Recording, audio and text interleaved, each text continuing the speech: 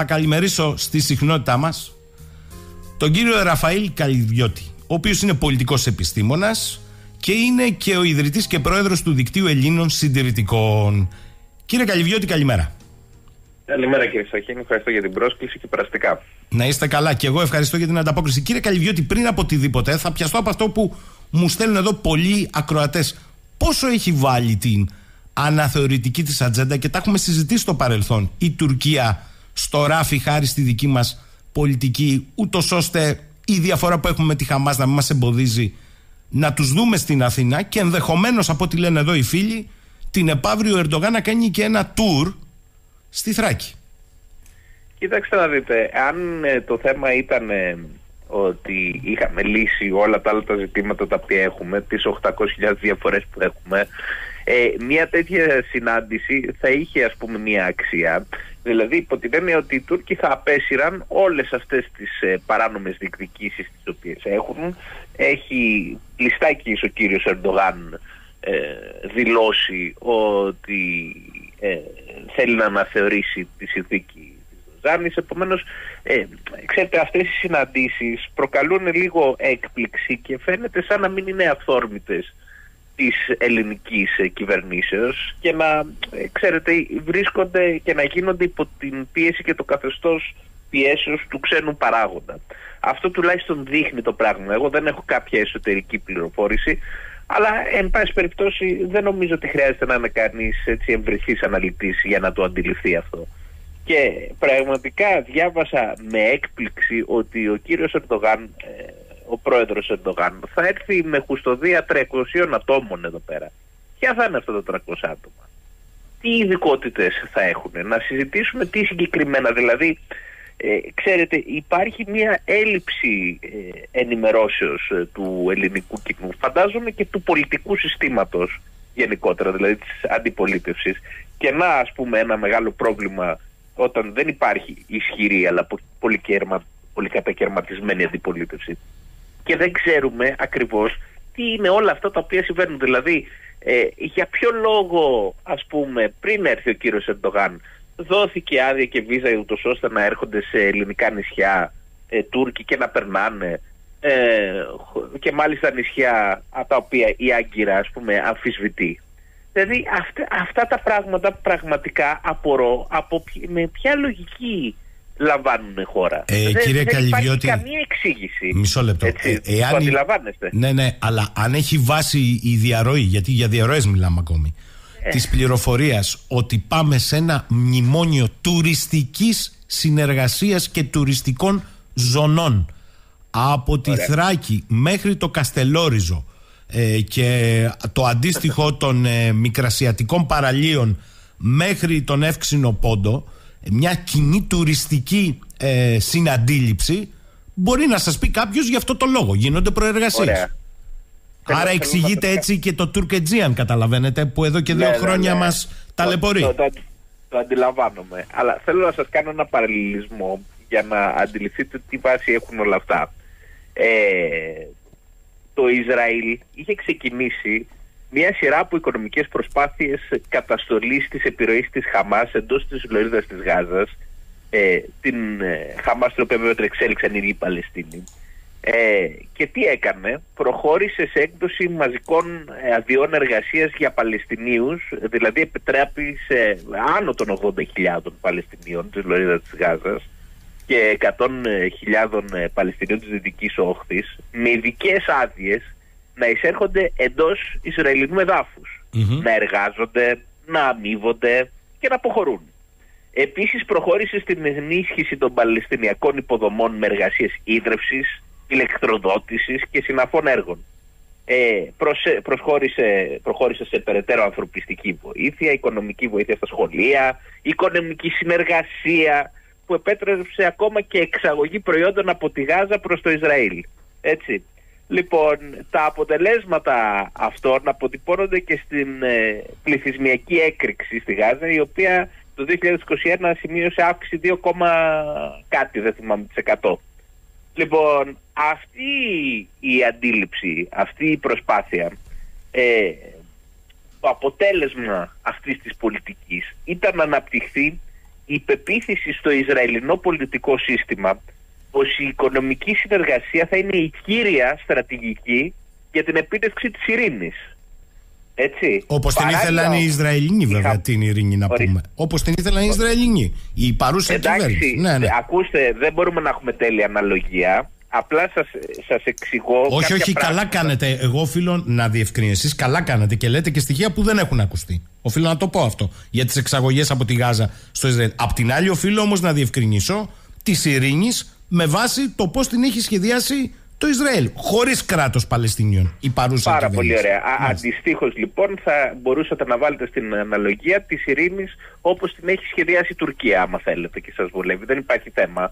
Τι εννοείται με αυτό; δηλαδή η Τουρκία μπορεί ε, ας πούμε, αυτή τη στιγμή να, να θέλει υπό την πρόφαση ότι συνεργαζόμαστε να έχει μια οικονομική ας πούμε, επέκταση συγκεκριμένων επιχειρηματιών. Ασφαλώς το ίδιο πράγμα λέμε. Ασφαλώς. Δεν διαφωνώ εγώ. Ε, λοιπόν, ωραία. Άρα λέω λοιπόν ότι ε, ασχέτως τώρα ε, εδώ δεν, ε, όταν κάνουμε μια περιγραφική ανάλυση δεν χρωματίζουμε ποιος είναι ο καλός και ποιος είναι ο κακός. Πάντα. Λέμε, λέμε απλά ποιος είναι ο ισχυρός και ποιος είναι ο ανίσχυρος ας πούμε στη συγκεκριμένη περίπτωση. Η Ελλάδα βέβαια δεν βρίσκεται στην ίδια κατάσταση με τη Χαμάς έτσι για να μην... Mm. Ούτε με τους Παλαιστινίους.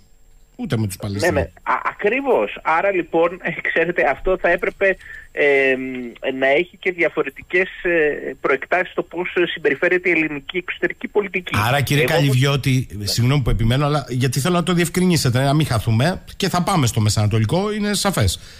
Όχι, αναλογία υπενήσεστε, υπενήσεστε ότι εδώ δεν είναι τόσο απλή εξήγηση οικονομικών συναλλαγών, ανταλλαγών και κοινού μετόπου τουριστικού προϊόντος αν μας φορεθεί ως τέτοιο καπελό; Ε, φυσικά.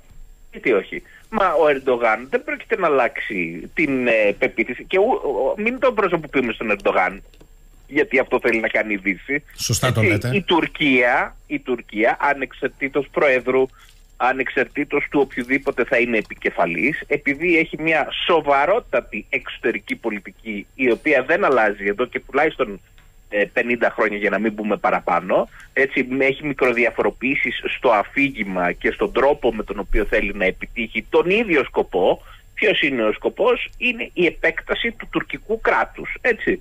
Είναι μια φύση ε, επιθετική, δύναμη, αναθεωρητική, ε, η οποία ε, θέλει συνεχώς ζωτικό χώρο. Έτσι, αυτό είναι στη γεωπολιτική που λέμε ε, η, η, η, η, φύση και ενός επιθετικού κράτου η, αναζή, ε, επιθετικού κράτους, η αναζήτηση συνεχώς ζωτικού χώρου.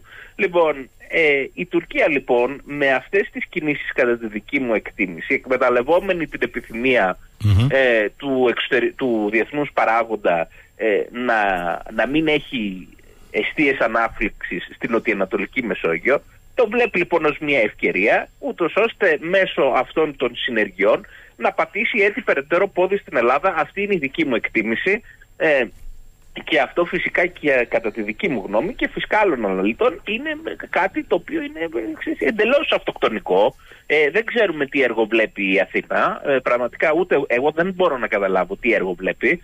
Ε, το οποίο δεν το βλέπουμε όλοι οι υπόλοιποι. Ε, εντάξει, προφανώς έχουν βγει όλοι αυτοί οι καλοθελητές οι οποίοι είναι υπέρ της ελληνοτουρκικής φιλίας και τους οποίους τους έχουμε δει σε διάφορα σημεία της ε, ελληνικής ιστορίας να έρχονται και να επανέρχονται από το, από το, το σχέδιο ΑΝΑΝ ε, μέχρι τα Σκόπια και από τα Σκόπια μέχρι τα μέτρα οικοδόμησης εμπιστοσύνης είναι οι ίδιοι άνθρωποι οι οποίοι βλέπουν το ίδιο έργο. Ε, ε, η Ελλάδα έχει εντωμεταξύ ε, κάθε φορά ητάται και αυτοί λένε ότι ο Κώστας Σιμίτης ήταν ο καλύτερος πρωθυπουργός της ελληνικής μεταπολίτευσης. Δηλαδή ε, ξέρετε, υπάρχουν ε, αφηγήματα τα οποία μας οδηγούν προς αυτή την κατεύθυνση, προετοιμάζουν τον ελληνικό λαό και προετοιμάζουν τον ελληνικό λαό η Ελλάδα να γίνει ένα κράτος το οποίο θα είναι υποτελές και υπόδουλο. Δεν υπάρχει άλλη εξήγηση, κύριε Σακίνη.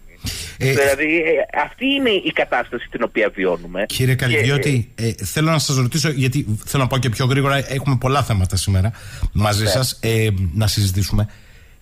άρα αισθάνεστε ότι ακόμη και αν πάμε σε συμφωνίες της λεγόμενης soft πολιτικής γιατί αυτό ναι. διαρρέεται ότι αφήνουμε τα μεγάλα πάμε στα soft σε αυτά που μπορούμε να έχουμε συναντήληψη ακόμη και στη soft κατά τη γνώμη σας, υποκρύπτεται η δημιουργία χώρου ή αισθήματος χώρου για την Τουρκία; Ε, βέβαια. Εννοείται. Εγώ, για μένα είναι 100% σίγουρο γιατί ξέρω και ε, δεν το αφήνει και κρυφό. Η, η Τουρκία δεν, δεν το αφήνει κρυφό. Κάνει ξεκάθαρες τις ε, προθέσεις της. Δεν είναι κάτι δηλαδή το οποίο είναι ε, ξέρετε ε, σε σημείο που να λέμε α, μας ήρθε ως έκπληξη και δεν έρχεται σε έκπληξη φυσικά και ούτε στο ελληνικό πολιτικό σύστημα. Γι' αυτό απορώ. Γι' αυτό απορώ. το ελληνικό πολιτικό σύστημα έχω την αίσθηση ότι έχει βάλει μια κόκκινη γραμμή έτσι, στο να μην χάσουμε έδαφος. Το οποίο είναι το, το μήνυμο ας πούμε, του πατριωτισμού.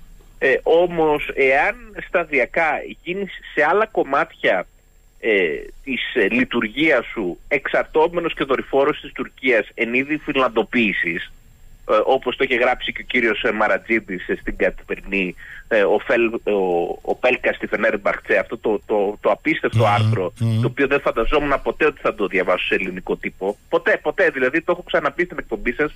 είναι κάτι το οποίο με έχει στιγματίσει. Δεν μπορώ να το πιστέψω ότι έχω διαβάσει τέτοιο άρθρο ε, σε ελληνικό μέσο Λοιπόν, ε, όταν λοιπόν υπάρχει η, η προοπτική της φιλανδοποίησης και υπάρχουν κάποιοι που την υποστηρίζουν αυτή την προοπτική, φυσικά και στο πίσω μέρος ε, του μυαλού μας πρέπει να μπαίνει και αυτό, ότι η φιλανδοποίηση είναι μία είδους οικονομική και διπλωματική υποτέλεια απέναντι σε ένα κράτος το οποίο μεγεθύνεται δημογραφικά ε, εναντίον, έναντι μάλλον ενός κράτους του δικού μας το οποίο όχι απλά μειώνεται δημογραφικά, καταραίει δημογραφικά κύριε Σαχίνη.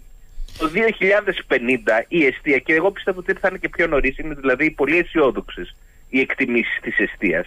Ε, στο πρωτοσέλιδο το οποίο έκανε ε, μεγάλη αίσθηση τότε, που, αλλά το ξέραμε όλοι όσοι ασχολούμαστε με το δημογραφικό πολλά χρόνια τώρα, η Ελλάδα θα έχει 7,5 εκατομμύρια ηθαγενείς και αν είναι από αυτούς 7,5 εκατομμύρια ηθαγενείς και 2,5 εκατομμύρια με soft και με ε, έτσι ε, ελαστικές αναλύσεις ε, 2,5 εκατομμύρια μετανάστες και πού να ξέρουμε και πώς θα είναι και οι παράνομοι μετανάστες. Όλοι αυτοί λοιπόν οι μετανάστες, ε, αγαπητέ κύριε Σαχίνη, θα είναι μιας συγκεκριμένης ε, κοσμοθεωρίας και θρησκευτικής αντίληψης.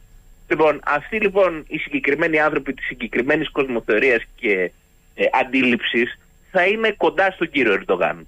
Αυτό εσάς τι σας δείχνει, ότι θα φιλανδοποιηθούμε ή όχι; Μου δείχνει το τι απαντήσαμε στον κύριο Σόλτς που ενοχλείται με, τους, ε, με τις δευτερογενείς αιτήσει ασύλου. Αυτό μου δείχνει. Μα, μα τι εδώ πανηγυρίσαμε που πήραμε τα 42 εκατομμύρια κύριε Σαχή. Πανηγυρίσαμε, μάλιστα. πανηγυρίσαμε Πάλι διαχείριση γιατί... ευρώ, ναι. Ε, θέλω κύριε Καλυβιώτη να πάω ως εξής παρακάτω.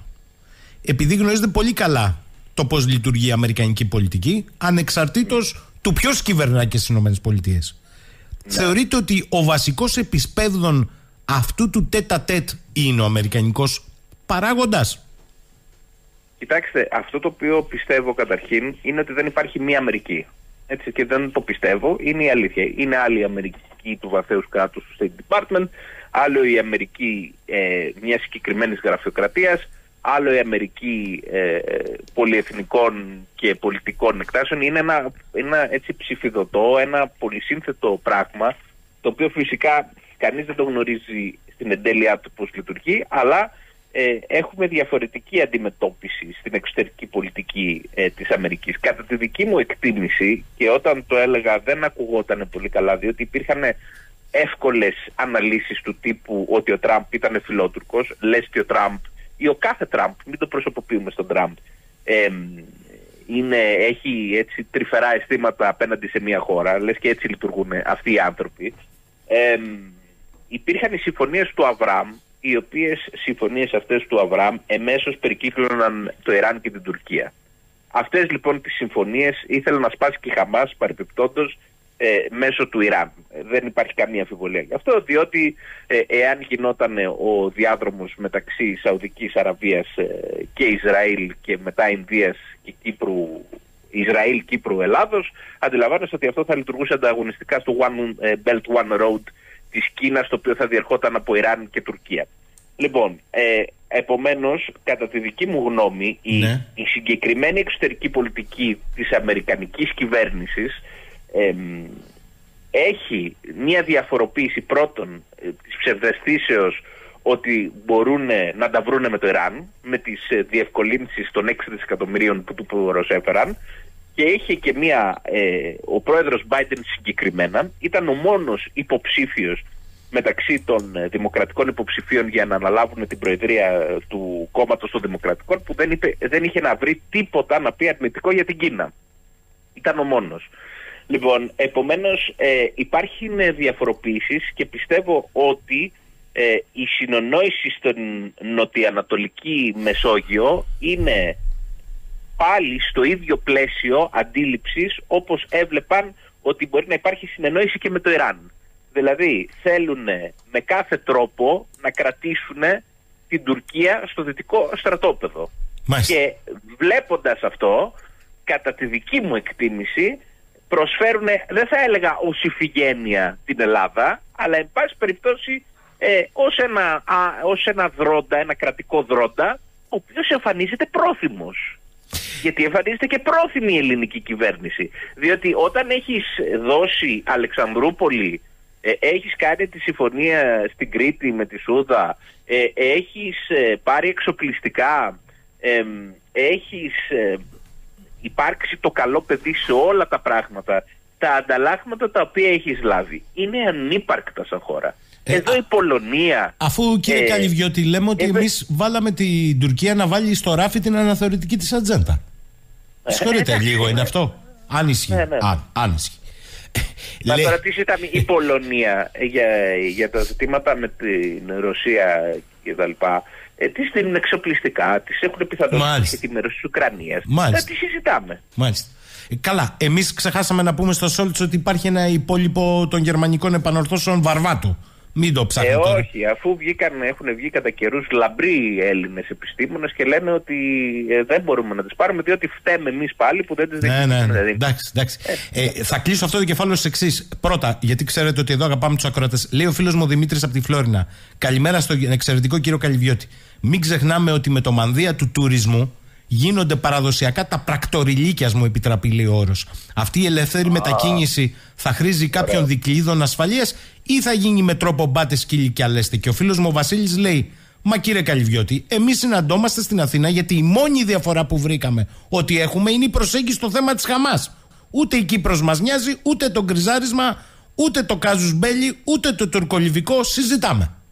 Μα δεν έχουμε διαφορά με την Κύπρο, αφού προτείναμε κιόλας ε, εναντίον της βουλήσεως της Κύπρου για πρώτη φορά ε, στην ιστορία θεωρητικά ε, πρόεδρο Τούρκος στον IMO, τον International Maritime Organization. Ασχέτως αν δεν βγήκε. Δηλαδή, ε, εμείς είμαστε τόσο πρόθυμοι, είμαστε έτσι τόσο καλά παιδιά που πιστεύουμε ότι θα το εξημερώσουμε το θηρίο. Είμαστε, είμαστε τόσο σίγουροι για τις δυνατότητες και για τις δυνάμεις μας και επίσης όσο αφορά τα πρακτοριλίκια τα οποία ναι, λέει ναι. δεν έχει καθόλου άδικο ο φίλος.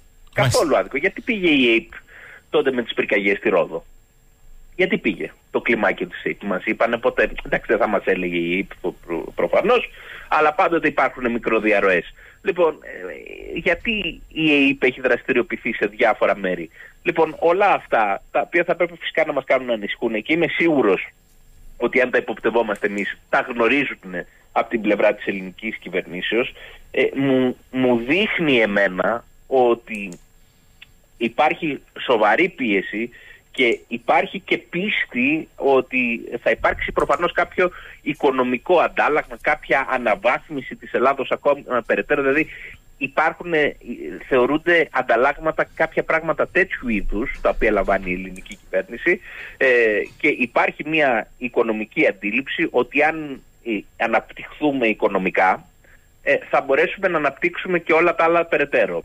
Αυτή νομίζω ότι είναι η αντίληψη της κυβερνήσεως για να μην κάνουμε μόνο ας πούμε σκληρή κριτική αλλά υπάρχει από πίσω ένας πυρήνας μιας συγκεκριμένης αντίληψης. Ε, μου γράφει εδώ κάποιος ε, ακροατής καλές διαπιστώσεις του κυρίου Καλυβιώτη και καλά τα λέτε και εσείς κύριε Σάκινη. Και τι σημαίνει αυτό, να κλείσουμε τα σύνορα με την Τουρκία; Όχι, δεν σημαίνει αυτό. Σημαίνει όμως για παράδειγμα, χθες φίλε μου, και κύριε Καλυβιώτη, μετά απαντάτε όπου θέλετε, που είχαμε την επέτειο του ψευδοκράτους και μας είπανε μέσα στη Μούρη μαζί με τους Αζερμπαϊτζανούς ότι μετέχει ισότιμα πια από τη θέση παρατηρητή, αλλά ισότιμα στη συνέλευση των τουρκόφωνων κρατών, ότι κάτι έπρεπε να πούμε διεθνώς. Με βάση και τις αποφάσεις του ΟΗΕ. Αλλά πέρα βρέχει. Χθες ήταν απλά Τετάρτη, 15 Νοεμβρίου για μας. Ελάτε κύριε Καλυβιώτη. Ε, εγώ θα απαντήσω γιατί δεν ξέρω για ποιο λόγο θεωρείται ταμπού να πεις, ε, δηλαδή τι να κάνουμε να κλείσουμε τα σύνορα. Η απάντηση είναι ναι. Η απάντηση είναι ναι ναι, να κλείσουμε τα σύνορα και να κλείσουμε τα σύνορα και όχι μόνο απέναντι στην Τουρκία. Πρέπει να κλείσουμε τα σύνορα της Ελλάδος γενικώς. Ή είσαι κράτος το οποίο έχεις κλειστά σύνορα και είσαι κράτος κανονικό, ή είσαι κράτος πάτε σκύλια λέστε, είσαι της λογικής των open borders και βλέποντας το που ε, οδήγησε το Open Borders, ε, βλέπουμε και πού τι θα συμβεί και στην Ελλάδα εάν ε, επιτελέσουμε μια τέτοια προοπτική. Τώρα, αν το λέει μεταφορικά να κλείσουμε τα σύνορα στην Τουρκία, να μην κάνουμε καμία διαπραγμάτευση, η απάντηση είναι πάλι ναι. Να μην κάνουμε διαπραγμάτευση εάν η Τουρκία δεν αποσύρει τις παράλογες διεκδικήσεις της. Δεν κατάλαβα, επειδή ο κ. Ερντογάν θέλει να κάνει ένα τολίτικο παζάρι και θέλει να πάρει το 20% από, τα, από, τα, από αυτά τα οποία ζητάει ε, εμείς δηλαδή θα πρέπει να κάτσουμε στο τραπέζι των συνομιλιών μαζί του νομιμοποιώντας αυτή την τακτική του ανατολίτικου παζαριού. Από πού προκύπτει αυτό, από πού προκύπτει; Δηλαδή, ε, ξέρετε και για την αποστρατιωτικοποίηση που έλεγε ο κύριος Ερντογάν, εντάξει δεν λέω ότι έχουμε βγάλει όλα τα, από τα ελληνικά νησιά, αλλά έχουμε προχωρήσει σε μια μερική, να το θέσω έτσι, ε, κατάσταση τέτοια. Καλά. Άρα, Επισήμως δεν ε, είναι αποδεκτό αυτό ε, από την ελληνική κυβέρνηση. Δεν είναι το ξέρω. Αλλά Εντάξει. Ε, Εντάξει, να μην το... Ο Νίκος από το Λονδίνο, άντε την κάνω την εξαίρεση, λέει καλημέρα. Κύριε Καλυβιώτη, θα μπορούσαμε να πούμε ότι η προσπάθεια των Ηνωμένων Πολιτειών να κρατήσουν την Τουρκία παντή τρόπο στο δυτικό Μαντρί οφείλεται στο γεγονός ότι στην περίπτωση που τη χάσουν και η τελευταία πάει προς το μέτωπο της Ρωσίας ανοιχτά πια, τότε η Ρωσία κατεβαίνει στι θερμέ θάλασσες Πράγμα το οποίο είναι άτομο για τους Δυτικούς. Οπότε ο Αρντεγάν απειλεί, θα πάρω αυτά που θέλω ή διαλύστε με αν τολμάτε, με δεδομένο ότι στην Ουκρανία η Δύση έχει βαλτώσει και ο Ουκρανικός στρατός σφαγιάζεται. Εντάξει, είναι μια σωστή ανάλυση αυτή. Δηλαδή η Τουρκία κρατάει τα κλειπιά ε, στο ζήτημα της Μαύρης Θάλασσας. Έτσι είναι, αφού έτσι είχαν αποφασίσει με τη συνθήκη του Μοντρέ. Αλλά, εν πάση περιπτώσει, το, το ζήτημα δεν είναι αυτό. Γιατί η Τουρκία και όλοι οι παίκτες έχουν κάτι να προσφέρουν ως αντάλλαγμα. Έτσι. Το ζήτημα είναι ότι οι δυτικές δυνάμεις ε, θα έπρεπε να έχουν μια πιο ξεκάθαρη στρατηγική ε, το πώς θέλουν να αναδιαμορφώσουν την κατάσταση για να υπάρχει περιφερειακή ειρήνη. Το να, το να επιδοτείς και να πλειοδοτείς σε έναν ασταθή παίκτη ο οποίος έχει, ε, έχει αποδείξει πλιστάκης ότι είναι ένας ασταθής παίκτης, δεν είναι μια έξυπνη στρατηγική δεν είναι καθόλου έξυπνο αυτό το οποίο κάνουν οι Δυτικοί αυτή τη στιγμή, διότι η Τουρκία μεγαλώνει, μεγαλώνει συνεχώς, σε ισχύ τουλάχιστον στρατιωτική, έτσι. Και ε, βλέπουμε ότι παρεβαίνει σε όλα τα πεδία των μαχών, ανεξάρτητα από τα συμφέροντα των Δυτικών. Άρα το να τον χαϊδεύεις για να παραμείνεις στο δυτικό μαντρί δεν σου προσφέρει ανταλλάγματα. Διότι αυτός ο δρόντας, όταν δει ότι το συμφέρον του είναι να είναι προς το ανατολικό μαντρί, θα πηγαίνει προς το ανατολικό μαντρί. Όταν βλέπει ότι θα είναι προς το δυτικό, θα πηγαίνει προς το δυτικο Λοιπόν, δεν είναι επομένως μια έξυπνη στρατηγική να κάθεσαι και να χαϊδεύεις συνέχεια το θηρίο. Είναι λάθος και σίγουρα δεν είναι έξυπνη στρατηγική στο τελευταίο σου προπύργιο στην Νοτιοανατολική Μεσόγειο, την Ελλάδα και την Κύπρο, διότι το Ισραήλ, εντάξει, πιθανώς θα νικήσει τον πόλεμο, αλλά θα, θα κληρονομήσει και θα, ε, ε, μια, μετα, ένα μεταπολεμικό status quo, το οποίο όχι απλά δεν θα είναι σταθερό, αλλά θα είναι πάρα πολύ επικίνδυνο. Λοιπόν, ε, έχεις λοιπόν μια αστάθεια περιφερειακή στην όλη περιοχή και δεν φροντίζεις έναν από τους πιο σταθερούς παίκτες που είναι η Ελλάδα. Ε, κάνεις λάθος. Είναι λάθος η στρατηγική σου ως Δύση. Είναι λάθος. Λοιπόν, πάω παρακάτω. Και το έχω πει, θα εντυπωσιάσει λίγο τους ακροατές. Αλλιώς το περιμένουν να σας ακούσουν για τη Μέση Ανατολή, θα τα ακούσουν διαφορετικά. Και το ερώτημα είναι το εξής, επειδή το περιγράψατε. Ότι αυτή τη στιγμή στις Ηνωμένες Πολιτείες, που είναι ο, ο μεγάλος παίκτης, αρέσει ή δεν αρέσει είναι ο μεγάλος παίκτης, δεν είναι μία η πολιτική, είπατε, είναι πολλές οι αναγνώσεις. Αυτές οι πολλές αναγνώσεις απηχούν και τη στάση στο Μεσανατολικό αυτή τη στιγμή; Και είναι αυτή η ιστορία του εσωτερικού ζητήματος των Ηνωμένων Πολιτειών τελικώς αφού Ευρωπαϊκή Ένωση δεν υπάρχει; Μην κοροϊδευόμαστε τώρα, σε αυτά τα ζητήματα. Ναι, ναι, ναι. Ε, αυτή η εσωτερική, πώς να το πω, κατατριβή στις ΗΠΑ στην ουσία έχει το λεγόμενο δυτικό μπλοκ. Δεν σημαίνει, ουδέτερα τα προσεγγίζουμε εδώ τώρα. Λοιπόν, το έχει σε μία αμηχανία; Δεν ξέρω αν έγινε αντιληπτός σε αυτό που ρωτώ. Κοιτάξτε. Ε, ναι, κατάλαβα τι λέτε. Είναι πολλά πράγματα μαζί, αλλά. Η ιδιαίτερη κατάσταση στο εσωτερικό των ΗΠΑ ε, διχοτομεί και μέσα το εσωτερικό των δυτικών κοινωνιών. Να πω ότι καταλαβαίνω, αυτό εννοείται. Κοιτάξτε, ε, εδώ πέρα θέλω να, να, να κάνω μια ανάλυση με βάση τα αφηγήματα.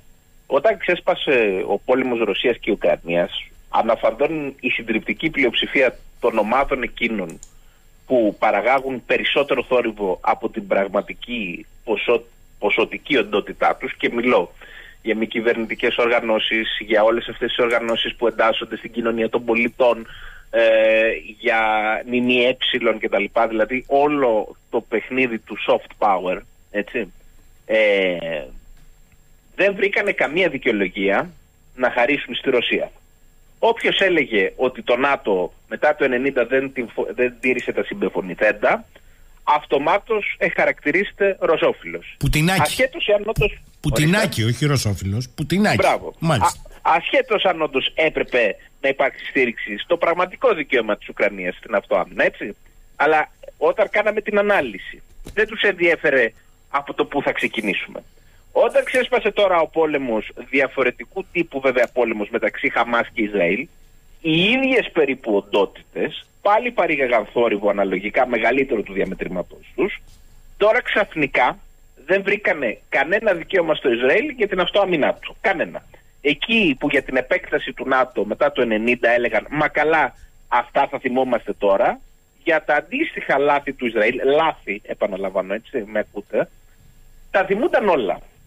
Εγώ τώρα δεν κρίνω στο θέατρο σύγκρουση των μεγάλων δυνάμεων ποιος έχει δίκιο και ποιος έχει άδικο. Η τραγωδία της ύπαρξης των μεγάλων δυνάμεων πάντοτε θα είναι δυστυχώς η σύγκρουση. Εγώ θέλω να κρίνω αυτές τις οντότητες και σε τελική ανάλυση να πω κατά την εκτίμησή μου η στάση τους ποιον εξυπηρετεί κατά την παρούσα συγκυρία. Εκ του αποτελέσματος, στηρίζοντας την Ουκρανία και μη δίνοντας κανένα περιθώριο διαπραγμάτευσης Δύσης και Ρωσίας, χάρισαν τη Ρωσία στην Κίνα. Όπως προέβλεψε τόσο ο Κίσιντζερ όσο και ο Μερσχάιμερ. Ποιος ωφελήθηκε σε τελική ανάλυση άραγε κύριε Σαχίνη, η Κίνα. Εκ του αποτελέσματος πάλι, δίνοντας εμέσως στήριξη στη Χαμάς, τη σύγκριση του Ισραήλ με τη Χαμάς, τι ακριβώς τορπιλίζεται, η Συμφωνία Ισραήλ-Σαουδικής Αραβίας που θα αξιοποιούσε την κληρονομιά των συμφωνιών του Αβραάμ και θα εδραίωνε τις σχέσεις μεταξύ Εβραϊκού κράτους και Σαουδικής Αραβίας του μεγαλύτερου ανταγωνιστή του Ιράν. Σε πρώτο επίπεδο. Σε βαθύτερο επίπεδο όμως αυτό που επιχειρείται να τορπιλιστεί είναι κάτι άλλο. Η εμπορική διασύνδεση Ινδίας, Σαουδικής Αραβίας, Ισραήλ, Κύπρου και Ελλάδας. Προς όφελος ποιου κύριε Σαχίνη, μα φυσικά του εμπορικού δρόμου, όπως είπα προηγουμένως, One Belt, One Road της Κίνας, ο οποίος θα περνά από το Ιράν και την Τουρκία. Εν τέλει λοιπόν ποιος ωφελείται από τη σύγκρουση αυτή στη Μέση Ανατολή κύριε Σαχίνη, η Κίνα φυσικά. Λοιπόν, αυτό το οποίο θέλω να πω είναι ότι οι συγκρούσεις στο εσωτερικό της δύσης, ασχέτως ποιος έχει δίκιο και ποιος έχει άδικο, έτσι, εν τέλει εγώ αυτό που παρατηρώ ότι ως απόλυξη έχουν το συμφέρον της Κίνας και το οποίο μπορεί να ακούγεται μια προωθημένη ανάλυση αλλά εγώ το πιστεύω βαθύτατα αυτό που σας λέω. Τώρα θέλω να πάω στο εσωτερικό της δύσης για να καταγράψουμε κάποια φαινόμενα που λαμβάνουν χώρα εντός των τυχών της. Με αφορμή τη διαμάχη Ισραήλ-Χαμάς, επαναλαμβάνω με αφορμή, διότι άλλο Χαμάς και άλλο Παλαιστινιακός λαός, τα ξεκαθαρίζω για να μπορέσω ε, επειδή καταλαβαίνω ότι αρκετοί φίλοι είναι υπέρ της Παλαιστίνης κτλ., εγώ δεν παίρνω μέρος στη σύγκρουση. Δηλαδή, ε, προσπαθώ να κάνω ανάλυση ψυχρή, ασχέτως εάν φαίνεται αυτή τη στιγμή ότι θέλω ότι κλείνει προς το Ισραήλ. Η ανάλυση μου όμως θέλω να είναι ανοιχτό οι ακροατές και να αντιληφθούν ότι είναι ψυχρή. Λοιπόν, με αφορμή τη διαμάχη Ισραήλ-Χαμάς, επαναλαμβάνω με αφορμή, ε, το δικαίωμα του Ισραήλ της Χαμάς να αποκτήσει κράτος ε, χρησιμοποιώντας τα αντικαπιταλιστικά αντανακλαστικά μερίδας του εσωτερικού της δύσης, το Ισραήλ στοχοποιεί, στοχοποιείται ως ένας καπιταλιστικός δολοφόνος σε γενικές γραμμές, στο εσωτερικό. Έτσι. Ακόμα και να ευσταθούσε αυτή η κριτική που το Ισραήλ έχει κάνει σοβαρά λάθη και έχει επιδείξει σκληρότητα στις ακόλουθες σκηνές που θα αναφέρω κατά τη γνώμη μου ο όρος Ισραήλ θα μπορούσε να αντικατασταθεί με τον όρο Δύση. Μέσα σε λίγες ώρες από τη σφαγή της 7ης Οκτωβρίου άνθρωποι στο Λονδίνο κυκλοφορούσαν με παλαιστινιακές σημαίες και κόρναραν για να γιορτάσουν τη σφαγή. Στο Μάντσεστερ η πρόεδρος των τοπικών φίλων της Παλαιστίνης δήλωνε Είμαστε πραγματικά γεμάτοι χαρά, γεμάτοι υπερηφάνεια για ό,τι συνέβη. Μετά την 7η Οκτωβρίου, επαναλαμβάνω, έτσι. Σε μια διαδήλωση για την ελεύθερη Παλαιστίνη στο Μπράιτον, μια μιλήτρια που ισχυρίστηκε ότι είναι Παλαιστίνια είπε: Η χθεσινή μέρα ήταν μια νίκη.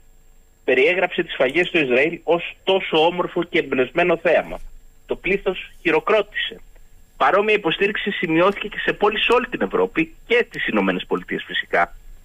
Εν τω μεταξύ, αρκετοί Εβραίοι που κατά καιρούς έχουν ταχθεί υπέρ των δικαιωματιστικών οργανώσεων, αλλά και άλλοι που πίστευαν ότι η αλληλεγγύη μπορεί να είναι αμοιβαία, τι ήμασταν από μια δικαιωματιστική οργάνωση όπως η Black Lives Matter, ας πούμε, στο Σικάγο, ανέβασε στο Twitter μια πανηγυρική εικόνα ενός αλεξίπτωτου πλαγιάς, ένα από τα μέσα με τα οποία δηλαδή η Χαμάς δολοφόνησε τους ανθρώπους στο, στο μουσικό φεστιβάλ. Λοιπόν, από την αντίπερα όχθη ε, βλέπουμε ότι υπήρχαν ε, στη Γαλλία, έτσι 100.000 Γάλλοι πρόσφατα την Κυριακή, αν δεν κάνω λάθος, διαδήλωσαν ειρηνικά στις πόλεις ε, την Κυριακή και ε, τι έκαναν για να δείξουν την υποστήριξή τους στους Εβραίους. Ε, φώναξαν το κλασικό «Είμαστε όλοι Εβραίοι», το «Ζεσουί» ας πούμε. Το ίδιο που φώναζαν και κάποιοι διαδηλωτές μετά την επίθεση του 2015 στο Σαρλί Εμπτό.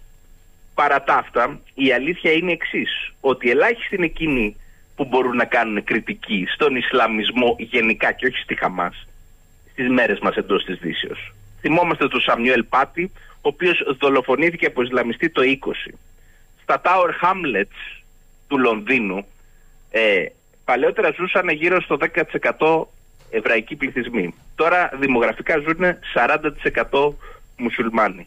Και στα Tower Hamlets το 11 ανέβηκε η Παλαιστινιακή σημαία και μετά ε, υπήρχαν διάφορες αντιδράσεις εναντίον των Εβραίων.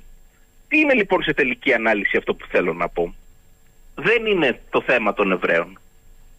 Όταν εισαγάγεις μαζικά πληθυσμούς στη Δύση και εφόσον αποδεδειγμένα αυτοί οι πληθυσμοί δεν ενσωματώνονται, οι άνθρωποι αυτοί τότε δεν διαθέτουν εθνική αλλά υβριδική ταυτότητα.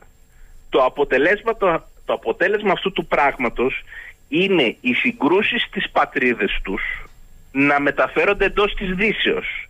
Μέσα στη Δύση, ανάμεσα στους σταγενείς πληθυσμούς, κάποιοι πλαισιώνουν τα αιτήματα των μεταναστευτικών πληθυσμών, δημιουργώντας μία ακόμα αιστεία εσωτερικής διαίρεσης σε μία ήπειρο η οποία δημογραφικά μαραζώνει, αλλά και πολιτισμικά βρίσκεται σε αποδρομή αφού έχει χαθεί η συγκολητική ουσία που την ένωνε. Ποιος ωφελείται από την πτώση της δύσης για να τελειώσω έτσι όπως ακριβώς ξεκίνησα, η Κίνα, κύριε Σαχίνη. Αυτή είναι μια ανάλυση την οποία θέλω να κάνω και την οποία την παρατηρώ καιρό τώρα ε, και μου κάνει ιδιαίτερη εντύπωση ότι δεν αντιλαμβάνονται η πολιτική ταγή της Ευρώπης ειδικά, διότι η Αμερική ας πούμε τα ήθελε και τα έπαθε εντός εισαγωγικών, ήταν ένα φιλετικό και πολυπολιτισμικό χωνευτήρι ε, το οποίο ας πούμε βιώνει τις αντιφάσεις της εσωτερικής πολιτικής. Η Ευρώπη όμως δεν ήταν έτσι, ήταν το έθνος το οποίο ε, δημιούργησε το κράτος και όχι το ανάστροφο όπως στην Αμερική. Και βλέπουμε λοιπόν ότι όσο θα υπάρχουν περιφερειακές συγκρούσεις με τέτοια εισαγωγή μεταναστευτικών πληθυσμών οι, εσωτερ... οι εξωτερικές αυτές συγκρούσεις θα μεταφέρονται συνέχεια στο εσωτερικό της Δύσης και συνέχεια θα δημιουργούν κλίμα προστριβής, ισχυρά κλίμα προστριβής και ανταγωνισμού εντός των ίδιων των δυτικών. Αυτή είναι η αλήθεια κύριε Σαχίνη. Λοιπόν, Εγώ σας άφησα αδιομεσολάβητα γιατί έλαβα σοβαρά υπόψη μου αυτό που είπατε. Θα κάνω μία ανάλυση ψυχρή, ασχέτως πώς κάποιοι θα φαντάζονται με το συνέστημα ή τη δική τους ανάλυση ότι τοποθετούμε ψυχρά. Και τώρα θέλω να ακούσετε με βάση και το σκεπτικό σας μερικές παρεμβάσεις ακροατών. Λέει εδώ ο ένας φίλος. Ο κύριος Καλυβιώτης φαίνεται λαμβάνει σοβαρά υπόψη του τις σημειώσεις του Πέπε Σκομπάρ. Ισχύει; Γιατί το λέτε αυτό; Δεν ξέρω, έτσι μου γράφει εδώ ο ακροατής. Ισχύει αυτό; Όχι. Όχι. Όχι, δεν ισχύει. Άλλος φίλος ακροατής. Συγγνώμη, λέει κύριε Καλυβιώτη, σας πάω πιο πίσω. Ο Έλληνας Πρωθυπουργός θα πει στον Τούρκο Πρόεδρο για την Αγία Σοφιά. Όχι, βέβαια. Σιγά μην το πει. Άλλος φίλος. Καλά τα λέτε, κύριε Καλυβιώτη. Αλλά τις χώρες αυτές από τις οποίες έχουμε μεταναστευτικά και προσφυγικά κύματα, δεν ξέρω, λέει ότι θέλετε χαρακτηρισμό, κάντε. Ποιος τις διέλυσε; Δεν τις διέλυσε η Δύση και η Ευρωπαϊκή και η Αμερικανική, βομβαρδίζοντας, κάνοντας πολέμους ή φέρνοντας να τους φορέσει ένα πουκάμισο, είδαμε αραβικές ανέξεις δημοκρατίας αλλά Αμέρικα που απέτυχαν και εκεί βρήκε και φως και μπήκε και ο κύριος Ερντογάν. Και αν είναι έτσι όπως το αναλύεται, ακούστε το λίγο, αν είναι έτσι όπως το αναλύεται, άρα γιατί αυτή τη στιγμή να υποστηρίξουμε το Ισραήλ όταν εξωθεί εκατομμύρια Παλαιστινίους να πιάσουν όπου γης νέα πατρίδα; Ωραία. Λοιπόν, αυτό είναι ένα πολύ ωραίο ερώτημα ε, και το οποίο έχει βάση ε, και το δέχομαι σαν ερώτημα. Ε, όλα τα ερωτήματα το δέχομαι, απλά mm-hmm. είναι πολύ καλό. Λοιπόν, ε, αν ο καθένας ανάλογα με την ιδεολογική του ταυτότητα έτσι, μπορεί να πιάσει χρονικά ένα σημείο και να πει εκεί φταίει το Ισραήλ, εκεί φταίει η Παλαιστίνη, η Χαμάς κτλ. Το οποίο ε, και οι δύο πλευρές θα έχουν δικαιολογημένα ε, χώρο να τοποθετηθούν πάνω στο ζήτημα. Η αλήθεια είναι ότι φταίνε και τα δύο μέρη κατά τη δική μου εκτίμηση. Λοιπόν, ε, αν είναι να ξεκινήσουμε το ποιος φταίει και να πιάσουμε έτσι το κουβάρι, μπορούμε να φτάσουμε στο επίπεδο της αρχαίας Ελλάδος και να πούμε ότι ο πρώτος που έκανε επίθεση στη Δύση ήταν η Περσία. Έτσι και μετά να πάμε ότι οι μουσουλμάνοι έφτασαν μέχρι την ε, Βιέννη. Αυτό λοιπόν δεν είναι μια λογική ανάλυσης ε, το να πηγαίνουμε όλο προς τα πίσω συνέχεια. Φυσικά φταίει και η Αραβική Άνοιξη, Φυσικά φταίει και ο υπεριαλισμό ε, των δυτικών και των πολυεθνικών τους εταιριών. Φυσικά όλοι φταίνε. Έτσι. Ε, το ζήτημα δεν είναι αυτό. Το ζήτημα τώρα αυτή τη στιγμή κρίνουμε το παρόν. Δηλαδή κρίνουμε τα αποτελέσματα πολιτικών τα οποία μας έφεραν σε αυτό το σημείο. Ποια είναι τα αποτελέσματα αυτή τη στιγμή; Το αποτέλεσμα είναι λοιπόν ότι έχουμε μεταναστευτικούς πληθυσμούς εντός της Δύσεως οι οποίοι δεν ενσωματώνονται. Αυτοί οι πληθυσμοί έχουν αποδείξει ότι έχουν υβριδικές ταυτότητες. Τι σημαίνει υβριδική ταυτότητα, Ότι μεταφέρουν την ταυτότητα την οποία είχαν από, την, από το έθνος στο οποίο κατοικοίδρευαν παλαιότερα, είτε είναι, και μπορεί και να μην κατοικοίδρευαν κύριοι, μπορεί να είναι δεύτερης και τρίτης γενιάς, και μεταφέρουν αυτή την κουλτούρα μέσα στη Δύση. Επομένως, θα σας φέρω ένα παράδειγμα για να γίνω πιο κατανοητός. Η Σουηδία, έτσι αυτή τη στιγμή το 20% και φταίει η Σουηδία, αλλά εμείς τώρα εξετάζουμε το αποτέλεσμα. Διότι η Σουηδία ήταν εντελώς open borders. Το 2015 δήλωνε ότι εμείς ε, είμαστε ανθρωπιστές, είμαστε το ένα το άλλο και δεν μπορούμε να μην δεχτούμε ανθρώπους μέσα στο έδαφος μας. Παρόλο ότι καμία συνθήκη δεν της το επέβαλε αυτό. Έτσι δεν μπορεί να περάσεις και να θεωρηθείς πρόσφυγας 10 ασφαλή κράτη προηγουμένως και να φτάσεις εκεί πέρα. Άρα ήταν η διαβουλήση αυτό. Φταίει η Σουηδία. Όμως να κοιτάξουμε και το αποτέλεσμα. Ποιο είναι το αποτέλεσμα, ότι στην ένταξη και στον κύριο Ερντογάν, ο οποίος ε, αυτή τη στιγμή διαπραγματεύεται την ένταξη της Σουηδίας στο ΝΑΤΟ, ξέρετε ποιος μεταναστευτικός πληθυσμός εντός της Σουηδίας έχει δημιουργήσει το μεγαλύτερο πρόβλημα στην ένταξη της Σουηδίας στο ΝΑΤΟ, ε, κύριε Σαχίνη. Και εγώ σας το λέω ένας άνθρωπος ο οποίος είμαι υπέρ των, του κουρδικού λαού και των κουρδικών ετοιμάτων. Οι Κούρδοι εντός της Σουηδίας. Οι Κούρδοι εντός της Σουηδίας έχουν ανέβει ιεραρχικά μέσα στην ελίτ, στα ΜΜΕ, στις επιχειρηματικές θέσεις κτλ. Και οι οποίοι κάνουν μία προπαγάνδα, ούτως ώστε ε, να μην δώσει τίποτα η Σουηδία αυτή τη στιγμή και να μην μπει στο ΝΑΤΟ. Ενώ η Σουηδία ως εθνοκρατικός δρόν έχει αποφασίσει ότι θέλει να μπει στο ΝΑΤΟ. Αυτό λοιπόν ποιος διαμορφώνει την εξωτερική πολιτική εκεί της Σουηδίας; Οι Σουηδοί ή οι μεταναστευτικοί πληθυσμοί. Λοιπόν, αυτά είναι ερωτήματα τα οποία θα κληθούμε να τα απαντήσουμε άμεσα και στην Ελλάδα. Δηλαδή, όποιος δεν βλέπει τις αναλογίες, ε, εθελοτυφλεί. Εδώ πέρα θα δημιουργηθούν ειδικοί, ειδικοί, ένας ειδικός μειονοτικός πληθυσμός ο οποίος θα προπαγανδίζει ξεκάθαρα τα συμφέροντα της Τουρκίας. Το έχουμε αντιληφθεί αυτό; Το αντιλαμβανόμαστε τι πρόκειται να γίνει στην Ελλάδα πολύ σύντομα; Λοιπόν, ε, ωραία, συμφωνώ. Υπάρχουν τεράστια λάθη του Ισραήλ, τεράστια λάθη της Δύσης και τα λοιπά. Τώρα, τώρα, τι κάνουμε τώρα; Καλή ιστορική αναδρομή. Τώρα, τι κάνουμε; Πώς θα λύσουμε το πρόβλημα; Σαφές. Ποιες λύσεις είναι αυτές οι οποίες προτείνουμε; Έχετε σκεφτεί ότι οι Παλαιστινιακοί πληθυσμοί οι οποίοι ε, θα, θα, θα φύγουν από την Παλαιστίνη ένα από τα μέρη τα οποία σκοπεύουν να έρθουν είναι η Ελλάδα; Ναι. Ε, εδώ όμως πρέπει να ακούσει το Ισραήλ την ανάγκη ύπαρξης πολιτικής λύσης. Πρέπει. Το παρόν, το παρόν Ισραήλ. Και δεν ξέρω αν ο κύριος Νετανιάχου μπορεί να το σηκώσει αυτό, αν και δεν βλέπω να τον σηκώνει το κλίμα στη χώρα την ίδια πια. Δεν νομίζω ο κύριο Νετανιάχου να επιβιώσει για πολύ, αν θέλετε την, τη γνώμη μου. Κύριε Καλυβιώτη, επειδή θα βγω τρελά εκτός χρόνου. Θα κλείσω με. Ναι, ένα... απλά το θέλω να το πω, ναι, γιατί ναι. είμαστε και στο ράδιο Κρήτη. Ότι ένας από τους τόπους ναι, ναι. οποίους μπορεί να πάνε είναι και στην Κρήτη, έτσι το ξέρετε. Ναι, το, το έχετε... Βεβαίως το ξέρουμε. Βεβαίως το ξέρουμε. Ε, γι' αυτό λέω ότι εδώ τα θέματα είναι πιο σύνθετα. Θέλω να κλείσουμε με ένα εξαιρετικό ερώτημα. Και θα τα πούμε ναι. στο επόμενο διάστημα και πιο τακτικά. Ωραία. Λέει εδώ ο φίλος Μονίκος. Άκουσα λέει το ποιος ωφελείται. Η Κίνα. Το ερώτημά μου στον κύριο Καλυβιώτη είναι ευθέως. Η Κίνα προϊονίζει τα θεμέλια της δύσης ή η παρακμή της δύσης και προφανώς και καλά κάνει η Κίνα και υποφελείται τα μάλα για πάρτι της; Γιατί να είναι ή το ένα ή το άλλο; Γιατί να είναι ή το ένα ή το άλλο; Ξέρετε, η Σοβιετική Ένωση ε, τώρα αρχίζουν και αναδεικνύονται πράγματα, διότι υπήρχε και τότε το Μάιο του 1968 υπήρχαν έντονα, έντονοι προβληματισμοί και ένα ιδιαίτερο αντικαπιταλιστικό μένος τόσο από τη δεξιά όσο και από την αριστερά το τονίζω και από τη δεξιά έτσι ε, γιατί θεωρήθηκε ότι ο Μάης του 68 ήταν στημένος από τις Ηνωμένες Πολιτείες για να πέσει ο Ντεγκόλ. Λοιπόν, ε, ξέρετε, η αλήθεια είναι ότι υπάρχουν στοιχεία τα οποία έρχονται σταδιακά στο φως που καταδεικνύουν ότι η Σοβιετική Ένωση είχε ε, εμέσως έναν ρόλο στο Μάη του 68. όλοι είχαν, όλοι οι μεγάλοι παίκτες είχαν. Τώρα μην μη το αναλύσουμε. Ε, Προφανώς όλοι είχαν.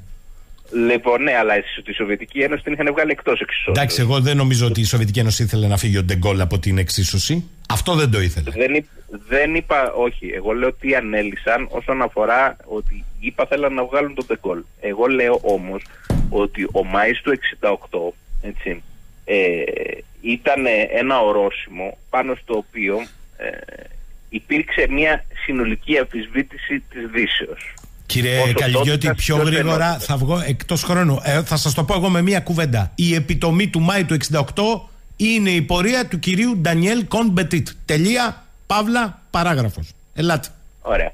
Και η, η επιτομή επίσης ήταν στη σχολή της Φραγκφούρτης, η οποία μεταφέρθηκε στην Αμερικανική Ακαδημία. Έτσι, και στην Αμερικανική Ακαδημία από τη σχολή της Φραγκφούρτης εκπήγασαν όλες τις ταυτοτικές και woke πολιτικές οι οποίες αυτή τη στιγμή έχουν φέρει τις ΗΠΑ σε ένα ιδιότυπο εμφύλιο. Έτσι. Λοιπόν, Άρα για εσά είναι, και τα δύο, λέτε; Δηλαδή είναι και τα δύο, γιατί το ερώτημα είναι συγκεκριμένο. Δηλαδή και η στρατηγική της Κίνας και η παρακμή της Δύσης απ' την άλλη; Ακούστε, εγώ δεν μπορώ να αποδείξω ότι η, η Κίνα, ε, πώς το λένε, έχει, ε, ξέρω εγώ, χρηματοδοτεί τέτοιου είδους κινήματα. Το, αυτό το οποίο παρατηρώ είναι ότι επενδύει σε ε, δυτικά πανεπιστήμια και επενδύει και σε δυτικά σχολεία. Αυτό, αυτό παρατηρώ από την Κίνα. Και γενικότερα βλέπω ότι ε, όταν ε, μία ε, οντότητα όπως η Δύση διχάζεται στο εσωτερικό της, πάντοτε ωφελείται ο παίκτης εκείνος ο οποίος είναι αναδυόμενος. Ένα τελευταίο, πολύ γρήγορα. Ο Σίζι Πινκ, γιατί είχε συνάντηση με τον Biden. Χθες. Και σήμερα θα φάνε στο. Σήμερα θα φάνε στην έπαυλη βίλα, πέστε το όπως θέλετε, μαυσολείο, δεν ξέρω ναι, και ναι. εγώ, που είχαμε τη δυναστεία στην Ελλάδα δεκαετία του 80, δεν ξέρω, εσείς είστε μικρότερος, ασπρόμαυρη ακόμη, πριν πια εσύ κάνει το έγχρωμο ε, των Κάρικτων. Λοιπόν, εκεί σε αυτό δεν, θα. Δεν, δεν την πρόλαβα. Εκεί θα φάνε μαζί. Δεν να σου πω την αλήθεια. Δεν λοιπόν, είστε λοιπόν, ο Σίζι Πινγκ λοιπόν ε, είπε ότι η Κίνα δεν έχει σχέδια να, ξε, να ξεπεράσει ή να εκθρονήσει την Κίνα κτλ. Περίπου τα ίδια είχε πει στον ναι. Ομπάμα το 2015 και δύο μήνες μετά προέβη σε επιθετική στρατιωτικοποίηση όλων των υποαμφισβήτηση περιοχών. Λοιπόν, επίσης αυτό το οποίο πρέπει να ξέρετε είναι ότι η Κίνα, γιατί δεν εμφανίζεται συχνά στο δημόσιο διάλογο, έχει, λέγεται ότι έχει απορρίψει τις δυτικές αξίες όπως της δημοκρατίας και της ελευθερίας του τύπου. Κυρίως όμως έχει χρησιμοποιήσει ένα αφήγημα υπονοώντας ότι υπό την ηγεσία της θα υπάρξει εξυγχρονισμός όλων των χωρών για ένα πιο διαμοιρασμένο μέλλον της ανθρωπότητας. Σε αυτόν λοιπόν το συνδυασμό ποντάρει η Κίνα ότι οι εντάσεις στο εσωτερικό της Δύσης τελεολογικά θα καταλήξουν στο απίστευτα συγκρουσιακό δίλημα δημοκρατία κάθετος ελευθερία ή ασφάλεια.